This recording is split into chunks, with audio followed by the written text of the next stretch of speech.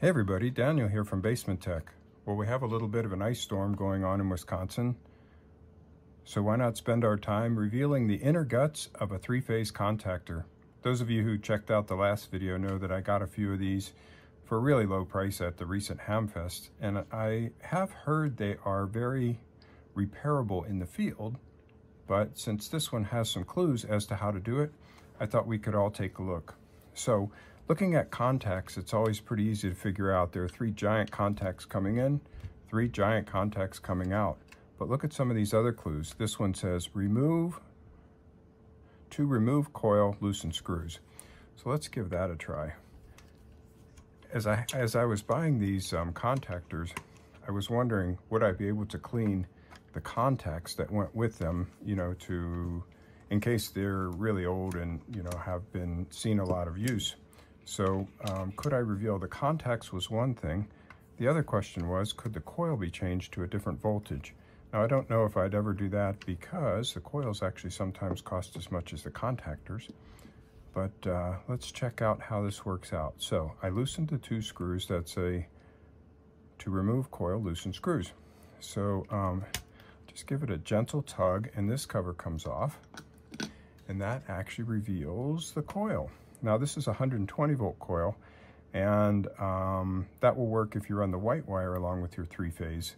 But if you don't, you would need a 220 volt coil. So it says to lift, uh, to remove, lift here. So I'm just gonna very gently, this is all Bakelite plastic, so I'm gonna be extremely gentle and see what I can do about that. Um, giving it a little tug. It's, um, it's definitely loose and it definitely wants to come out. So let's see what we can do here. There are two mystery contacts as well that I'm really interested in figuring out what's going on there. So this is just kind of a tight fit. It's not that it's jammed, it's just all the edges are square. So there we have it. That is, I'm gonna move this back so you can get a good look. That is the coil and it's just literally a coil. Um, Contactors, if you don't know, are actually just giant relays. So every relay has a coil that pulls contacts in. These are just designed for super big uh, currents, like big three-phase motors. Now, if I take a look in here, what does the coil move? Well, if I pull back on this a little bit, I can see the coil moving a bit. And if I pull back enough, I suspect it's going to snap into place. Now, the other intriguing little message given by these notes is to inspect contacts, loosen screws. That's what I'm really interested in. So there are two more screws. Hopefully you can see this pretty well. Let's take a look at those.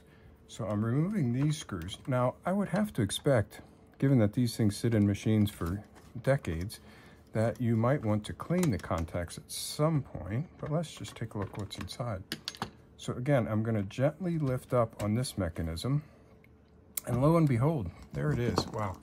This is pretty cool. I'm going to zoom in a little bit, but you can see the contacts in there. Let me get this little flashlight. There you go. You can see they're a little, they have a little bit of carbon deposit on them and a little bit of corrosion, if you will. So what I would do is get in there with a little bit of emery cloth, clean that up, and I suspect that would um, eliminate any issue that might be occurring with this. Now there are a lot of other screws on a contactor, and I just wanted to highlight a few of those. These on the side are normally open, normally closed switch, and they're used to sense when the relay the contactor has been tripped and or use them for push on, push off.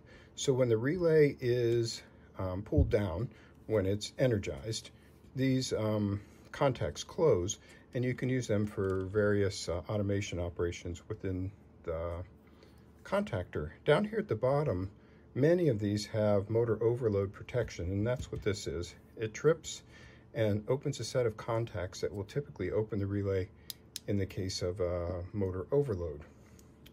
So this is pretty cool.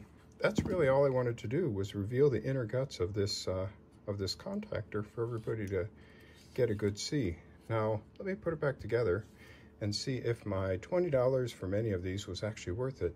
Does the coil energize? Okay, well, all reassembled. It comes apart uh, quite easy for servicing. It goes back together quite easy for putting back into service. And if I did have a 220 volt coil or a 208 volt coil, it would swap in here um, quite easily. So where does the coil connect? Well, I did a little tracing. This screw here connects to this screw, and that's zero ohms, so a good connection. Now, is the coil intact? I'm going to go from this screw to this screw, and that's going to show me about a 32 ohm um, connection. So it's not zero, so the coil is not shorted, and in fact, uh, it's not open, so the coil is not burned out. That's all good news for me. Um, so do not try this next step at home. I'm going to try it here. I have determined that these connections here and here are the ones that would energize the coil. So um, clearly these contacts are cleverly designed for a very typical installation. And all I have on this end is a 120 volt uh, plug, like you might suspect. So I'm going to plug that in over here, and my plug strip has a switch. My hope, obviously, is that we hear the coil go clunk. How about that? That's pretty cool. So the coil is intact. Uh, the contacts are not in bad shape, but need a little polishing. So I think my $20 for three of these and a whole bunch of other things was probably worth it. If you like this kind of little teardown video, let me know in the comments. And if you really like this video, subscribe and hit the button that says send me notifications when other videos like this appear. Thanks. Talk to you next time.